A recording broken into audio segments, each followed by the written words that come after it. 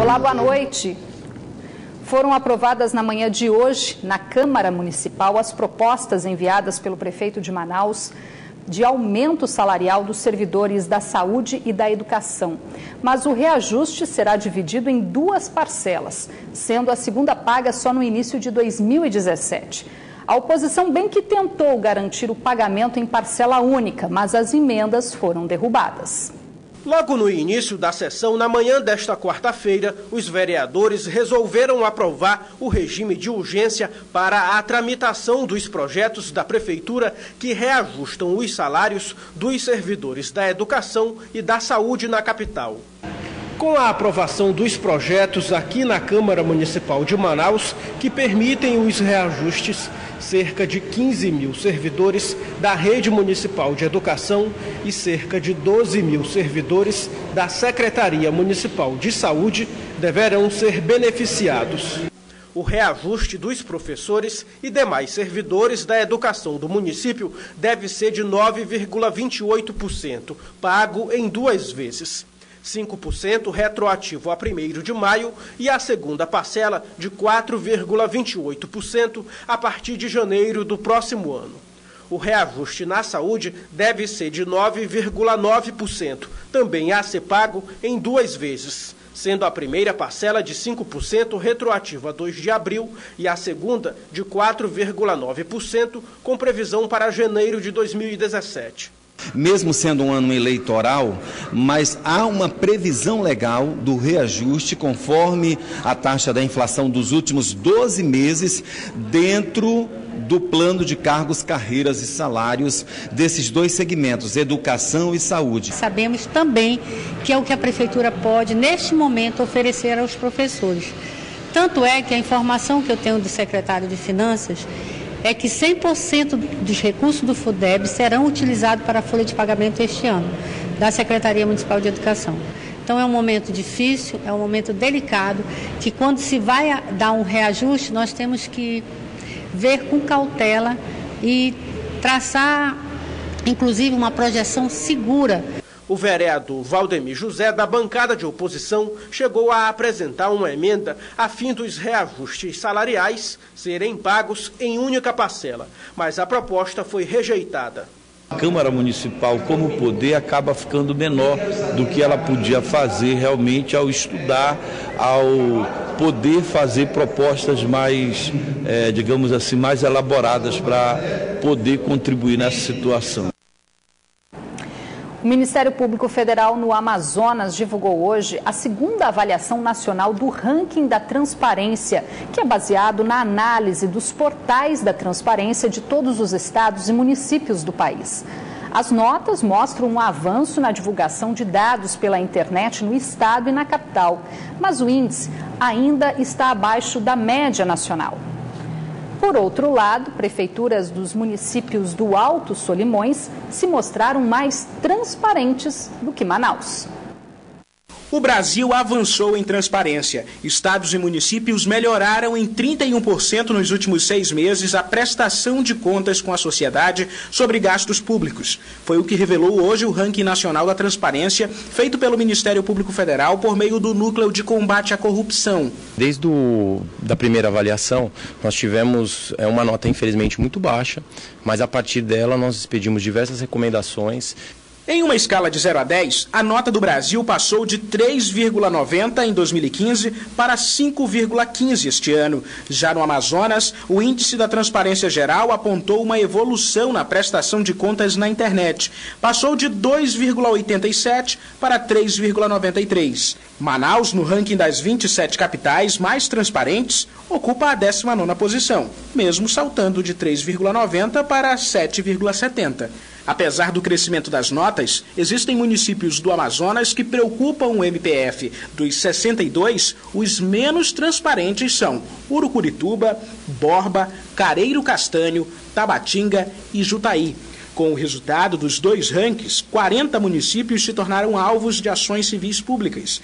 No caso da Prefeitura do Careiro Castanho, o caso é mais sério e já existe investigação criminal acontecendo em Brasília a respeito da falta de transparência com gastos públicos. Nós entendemos que há um descaso por parte do, do prefeito local em relação à questão da transparência. Então, além da ação civil pública que nós eh, já propusemos, eh, nós entendemos que há sim a necessidade de avaliar a responsabilidade do prefeito por ato de improbidade administrativa e a sua responsabilidade criminal. Em uma visão estadual, o ranking do Ministério Público Federal conseguiu mostrar que no Amazonas o melhor portal da transparência é o do município de Benjamin Constano Alto Solimões, seguido de Itacoatiara, Maués e somente em quarto lugar aparece a capital Manaus. Que municípios muito distantes é, da capital, eles tiveram um avanço expressivo, inclusive ficando em primeiro lugar à frente de Manaus. Né? É, então, esse argumento que muitas vezes alguns prefeitos usam, alguns gestores públicos usam, de que as dificuldades do interior inviabilizam o cumprimento das, das exigências legais, ele não é verdadeiro. Né? O que falta, na verdade, é um pouco de empenho e né, de vontade política, no meu modo de ver. O Ministério Público Federal ainda não sabe dizer a data exata de quando uma próxima pesquisa como esta será realizada, mas garantiu que a metodologia da próxima vai ser mais severa. O Tribunal de Contas do Estado deve notificar até o fim desta semana todos os municípios que têm festas programadas para que deem explicações ao TCE sobre os eventos. Caso contrário, eles poderão ser cancelados. A medida visa evitar gastos exagerados em um período de retração da economia. Os detalhes com Caio Fonseca. A representação partiu da própria presidência do Tribunal de Contas do Estado. Todas as prefeituras que vão realizar ou realizaram festas em seus municípios terão de enviar ao Tribunal de Contas e ao Ministério Público de Contas cópias integrais dos contratos dessas festas. O que o Ministério Público de Contas quer saber, junto ao TCE, é se não existe algo errado nestas contratações, diante do cenário econômico de muita dificuldade que os municípios do Amazonas enfrentam. A representação foi aceita por unanimidade na terça-feira pelo colegiado, aqui no Tribunal de Contas do Estado. A maneira pela qual o tribunal vai agir é alertando sobre isso e também fiscalizando sobre a contratação é, dessas festas. Porque o tribunal tem a competência para fiscalizar, por exemplo, o processo licitatório. É, essas pessoas estão sendo contratadas com, com inexigibilidade de licitação, é, tá, está havendo licitação para a contratação da, in, da infraestrutura necessária para a festa. Na sessão de ontem, duas festas chamaram a atenção dos conselheiros. A primeira, a festa do Cupuaçu, em Presidente Figueiredo, que este ano, agora em junho, teve a presença dos cantores Léo Santana, de Axé, e o cantor sertanejo Gustavo Lima chamaram a atenção porque os shows normalmente desses artistas têm valores bem elevados. Assim também como chamou a atenção a festa da Sardinha em Jutaí, que ainda vai acontecer e deve ter a presença dos sertanejos Zezé de Camargo e Luciano. O show normalmente da dupla não sai por menos de meio milhão de reais. É surpresa para todos nós que o município tenha dinheiro para gastar com festas e, sobretudo, gastar muito, trazendo atrações nacionais para municípios do interior do estado. A nossa preocupação é saber se é, o município tem condições de arcar com essas despesas. Assim que as prefeituras receberem as notificações para prestarem informações ao Tribunal de Contas e ao Ministério Público de Contas, elas terão um prazo de cinco dias para responder à demanda. Caso contrário, muito provavelmente, alguns processos licitatórios poderão até ser suspensos pelo próprio TCE. Processos esses ligados às festas destes municípios. Caio Fonseca, para o Band Cidade. Moradores do bairro Armando Mendes fizeram um protesto esta manhã contra a falta de água que já dura mais de uma semana. De acordo com os manifestantes, o problema já ocorre antes mesmo da manutenção das bombas do Proama. Gritos de reivindicação que podem ser entendidos como pedidos de socorro. Todo dia eu carrego água, todo dia eu carrego água. E para poder tomar um banho, lavar alguma roupinha miúda de lá do poço. De acordo com os moradores do bairro Armando Mendes, na zona leste de Manaus, o desabastecimento de água já ocorre antes mesmo do problema detectado nas bombas do Proama no início da semana. Essa desculpa não vale para o bairro do Armando Mendes porque não é esse final de semana que ocasionou o problema da bomba aqui do Proama. Já vem se alastrando, se arrastando por muito tempo aqui, principalmente na parte alta do bairro do Armando Mendes, é uma precariedade. Não tem água, as pessoas têm que comprar água para poder trabalhar, inclusive. O presidente do bairro ainda afirma que a falta de água se agravou depois que os funcionários que trabalham no reservatório que abastece o bairro foram demitidos para dar lugar a um sistema de abastecimento automatizado. Nós estamos cansados. Nós não queremos aqui ficar fechando rua todas as semanas, todos os dias. Nós queremos é água. Nós pagamos para isso. Então nós queremos ter o direito que em contrato é 12 horas por dia. Isso nunca aconteceu no bairro do Armando Mendes. Desde o início da semana, milhares de moradores das zonas norte e leste de Manaus estão com abastecimento de água comprometidos. Lá no Bragamente também, lá na Zona Leste. Lá tá desde quinta-feira sem água lá. Carro-pipa de água não aparece, já foi solicitado. Só se pagar carro-pipa. É 10 reais para poder encher um camburão de 500 litros lá. É, por meio de nota, a Manaus Ambiental informou que a falta de água no bairro Armando Mendes é resultado dos furtos de cabos de energia ocorridos nos dias 3, 4 e 7 deste mês e que a concessionária já trabalha na reposição desses cabos para normalizar o serviço de abastecimento na região. Um soldado foi preso acusado de participação na morte de um sargento da aeronáutica ocorrida na última segunda-feira. Um primo do suspeito que teria efetuado o disparo segue foragido. O soldado Brendo Silva da Silva, de 22 anos, confessou a participação na morte do sargento Melquisedeque da Paixão Dias. O crime ocorreu na noite da última segunda-feira no centro da capital. Para a polícia, o militar alegou que estava sendo cobrado pela vítima que havia emprestado a ele pouco mais de 3 mil reais. No dia do crime, com a promessa de quitar a dívida, o suspeito, acompanhado de um primo, se encontrou com a vítima na base aérea. De lá, os três saíram no carro do sargento. Durante o trajeto, Brendo teria informado que não tinha todo o dinheiro, o que motivou uma discussão. Quando o veículo estava parado em um semáforo no cruzamento da rua Ramos Ferreira com a Avenida Getúlio Vargas, o sargento foi alvejado na cabeça. Imagens de uma câmera de segurança mostram o momento em que o soldado, que ainda estava fardado, e o primo fogem a pé levando a arma do sargento, um revólver calibre 38 que ainda não foi apreendido. O autor do disparo, Brenderson Matos da Silva, segue foragido. O soldado foi indiciado por homicídio qualificado e subtração de arma e deve ficar preso na base aérea de Manaus. E um motorista de um ônibus foi baleado durante uma tentativa de assalto na manhã de hoje no bairro Redenção, zona centro-oeste da capital. De acordo com o Sindicato das Empresas do Transporte Coletivo, o ônibus voltava da primeira rota sem passageiros quando foi abordado pelo suspeito. Na fuga, ele atirou no ombro do motorista. A vítima foi socorrida, passou por um procedimento cirúrgico, mas já recebeu alta. Ainda segundo o Sinetran, entre os meses de janeiro e março deste ano já foram registradas 826 ocorrências nas 10 empresas que operam o serviço na cidade e o prejuízo já passa de 167 mil reais. Vamos conferir agora a previsão do tempo para esta quinta-feira aqui em Manaus e também algumas cidades do interior.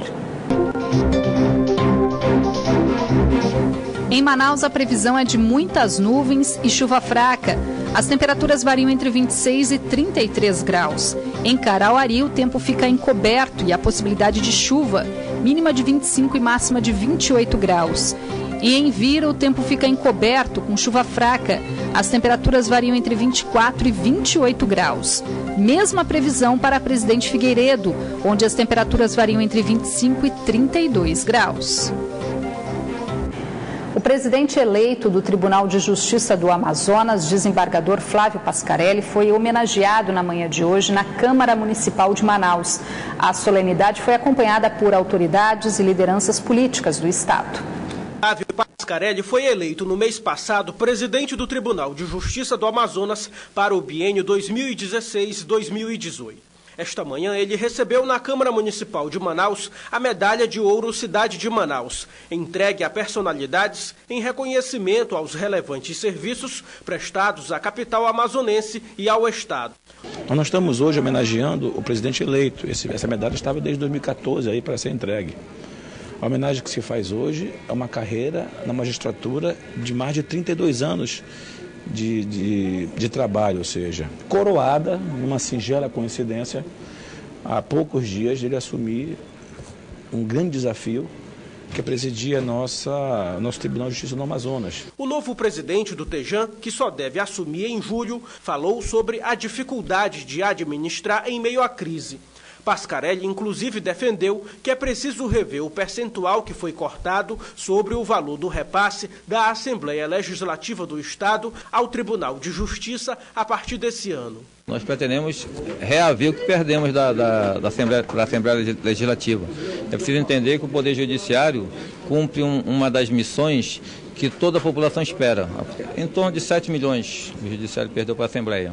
Mas essa foi uma decisão é, entre o tribunal, alguns desembargadores e o presidente da Assembleia. Portanto, foi uma decisão democrática.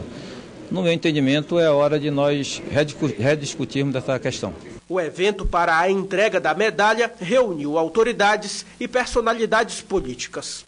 O vice-governador Henrique Oliveira, pré-candidato à prefeitura nas eleições municipais de 2016, comentou sobre as informações de bastidores de um possível apoio dos aliados do governador José Melo ao seu projeto político. É, os deputados estaduais que quiserem ingressar, que quiserem é, é, me apoiar, que quiserem conversar para traçar um, um projeto é, importante para Manaus, um projeto de desenvolvimento, é, será muito bem-vindo, mas eu desconheço qualquer tipo de articulação. Henrique não vê um racha na relação do governador com o prefeito Arthur Neto, que vai concorrer à reeleição e que teria o apoio de José Melo e do senador Omar Aziz. Eu não vejo por que o governador voltar atrás, nem o senador Omar Aziz voltar atrás desse raciocínio. Esta manhã, a presença do ex-governador do estado e ex-prefeito da capital, Amazonino Mendes, chamou a atenção dos vereadores na sessão de homenagem. Ele foi até questionado sobre a sua saúde. Meu nego, todos nós temos problemas né, de saúde. Agora eu estou com 76 anos de idade. Estou inteirão. Melhor do que quando eu estava na prefeitura. Eu estava muito doente naquela época, muito doente e com a maior carga administrativa que eu tive na minha vida. Mas Amazonino afirmou que não tem mais disposição para governar ao ser questionado se ainda viria a ser candidato nas eleições. Não, não, não. Esse meu tempo, meu tempo passou. Eu quero ajudar, colaborar no que eu puder como cidadão, é minha obrigação. Seis pessoas foram feitas reféns durante uma tentativa de assalto a um escritório de administração no início da tarde de hoje, no centro de Manaus, Orestes Litaif. Três bandidos armados chegaram a pé, renderam um funcionário que estava no estacionamento. Esse funcionário e outras cinco pessoas foram feitas reféns. Toda a ação dos bandidos durou cerca de 40 minutos. A polícia chegou no local, mas os bandidos já haviam deixado o escritório sem levar nada. Ninguém ficou ferido. Orestes Litaif para o Band Cidade.